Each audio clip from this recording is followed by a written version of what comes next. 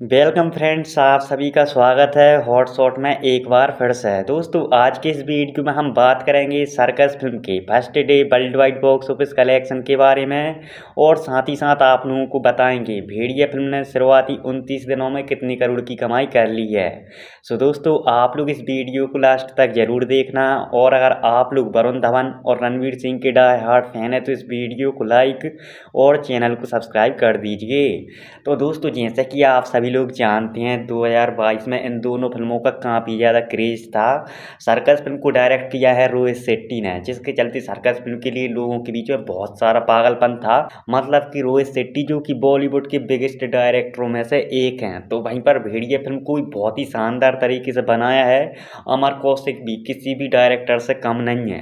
हालाँकि दोस्तों, फ़िल्मों का क्रेज तो काफ़ी ज़्यादा था बट दोस्तों, बात करें फ़िल्मों के बॉक्स ऑफ़िस कलेक्शन के बारे में तो इससे पहले हम जान लेते हैं फ़िल्मों की स्क्रीन काउंट। तो दोस्तों, भेड़िया फ़िल्म को 2500 स्क्रीन पर रिलीज़ किया गया था तो वहीं पर सर्कस फ़िल्म को 3200 स्क्रीन पर रिलीज़ किया गया है। मतलब कि सर्कस को भेड़िया से काफ़ी ज़्यादा स्क्रीन मिली हैं। इसके अलावा आपकी जानकारी के लिए बता दें दोस्तों, जब भेड़िया फ़िल्म रिलीज़ हुई थी तो भेड़िया फ़िल्म से पहले दृश्यम फ़िल्म का कहर चल रहा था, जिसके चलते भेड़िया फ़िल्म ने उस लेवल का कलेक्शन नहीं किया। बट दोस्तों इंटरेस्टिंग बात तो ये है, जब सर्कस फ़िल्म आज रिलीज़ हो चुकी है तो सर्कस फ़िल्म से भी पहले अवतार फ़िल्म का कहर चल रहा है। मतलब कि भेड़िया और सर्कस, ये दोनों ही फ़िल्में कहर में रिलीज़ हुई हैं। मतलब कि दोनों ही फ़िल्मों के साथ बहुत बड़ी नाइंसाफ़ी हुई है। हालाँकि बात करें कलेक्शन के बारे में तो भेड़िया फ़िल्म ने अपने पहले दिन इंडिया नेट कलेक्शन किया था सात करोड़ अड़तालीस लाख। तो वहीं पर सर्कस फ़िल्म ने अपने पहले दिन इंडिया नेट कलेक्शन किया है सात करोड़। वहीं पर बात करें इंडिया ग्रोस कलेक्शन के बारे में तो भेड़िया फ़िल्म ने अपने पहले दिन इंडिया ग्रोस कलेक्शन किया था आठ करोड़ तिरासी लाख तो वहीं पर सर्कस फ़िल्म ने अपने पहले दिन इंडिया ग्रोस कलेक्शन किया है आठ करोड़ पचास लाख। बात करें ओवरसीज कलेक्शन के बारे में तो भेड़िया फ़िल्म ने अपने पहले दिन ओवरसीज कलेक्शन किया था तीन करोड़ तेईस लाख। तो वहीं पर सर्कस फ़िल्म ने अपनी फ़र्स्ट डे ओवरसीज कलेक्शन किया है दो करोड़ पचास लाख।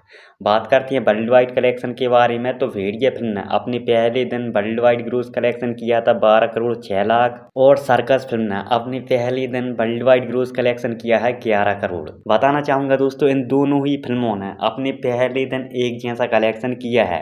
लेकिन भेड़िया फ़िल्म का सर्कस फ़िल्म से थोड़ा कहीं ना कहीं ज़्यादा कलेक्शन है। और इसके अलावा भेड़िया फ़िल्म को सर्कस फ़िल्म से काफ़ी कम स्क्रीन पर रिलीज़ किया था जिससे हम ये कह सकते हैं कि वरुण धवन कहीं ना कहीं रणवीर सिंह पर भारी पड़ चुके हैं। हालाँकि दोस्तों, हम बात करें भेड़िया के अब तक के टोटल कलेक्शन के बारे में तो भेड़िया फ़िल्म अपने फ़र्स्ट वीक में इंडिया नेट कलेक्शन किया था, बयालीस करोड़ पाँच लाख। सेकंड वीक में इंडिया नेट कलेक्शन किया था, चौदह करोड़ बासठ लाख। थर्ड वीक में इंडिया नेट कलेक्शन किया था, सात करोड़ तैंतालीस लाख। फोर्थ वीक में इंडिया नेट कलेक्शन किया था, एक करोड़ चौहत्तर लाख। बात करें फिफ्थ वीक कलेक्शन के बारे में तो भेड़िया फ़िल्म ने अपने ट्वेंटी नाइन्थ डे यानी कि फिफ्थ फ्राइडे को इंडिया नेट कलेक्शन किया है, चौदह लाख। सो इस फ़िल्म का अब तक का टोटल इंडिया नेट कलेक्शन हो चुका है छियासठ करोड़। वहीं पर इंडिया ग्रोस कलेक्शन हो चुका है अठहत्तर करोड़। और भेड़िया फ़िल्म ने अब तक ओवरसीज़ मार्केट से सोलह करोड़ की कमाई की है। सो भेड़िया फ़िल्म का वर्ल्ड वाइड ग्रोस कलेक्शन हो चुका है, चौरानवे करोड़। अब हम दोस्तों इन दोनों फ़िल्मों के बजट के बारे में बात करते हैं। तो भेड़िया फ़िल्म को साठ करोड़ के बजट पर बनाया गया था। तो वहीं पर सर्कस फ़िल्म को सत्तर करोड़ के बजट पर बनाया गया है। जिसके चलते भेड़िया फ़िल्म बॉक्स ऑफ़िस पर एवरेज हो चुकी है और सर्कस फ़िल्म का वर्डिक्ट अभी आया नहीं है। मतलब कि आज तो ये फ़िल्म रिलीज़ हुई है तो आने वाले दस पंद्रह दिन में हमें पता चलेगा कि सर्कस फ़िल्म बॉक्स ऑफ़िस पर क्या हुई है। मतलब कि हिट या फिर फ्लॉप वैसे दोस्तों, आप लोग कमेंट कर कर बताना सर्कस फ़िल्म का क्या वर्डिक्ट आएगा और सर्कस फ़िल्म का लाइफ टाइम कलेक्शन कितने करोड़ रहेगा? आप लोग अपनी राय कमेंट कर कर ज़रूर बताना।